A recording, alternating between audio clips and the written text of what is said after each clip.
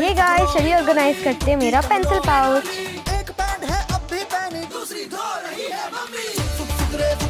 तो ये मैंने पीछे की साइड सेलो टेप लगाकर राइटिंग स्लेट की तरह बना दिया है। इसे हम स्पन से इरेज भी कर सकते हैं लिख भी सकते हैं। तो गाइस मैं तो सेवन स्टैंडर्ड में पढ़ती हूँ ना आप किस स्टैंडर्ड में पढ़ते हैं? कमेंट में ज़रूर बोलिएगा।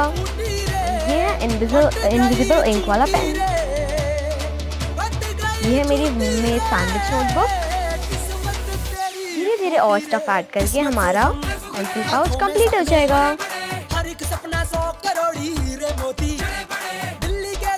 ओके बाय गाइस अगर आपको मेरा पेंसिल पाउच पसंद आया तो प्लीज़ मेरे चैनल को सब्सक्राइब कीजिएगा। Bye bye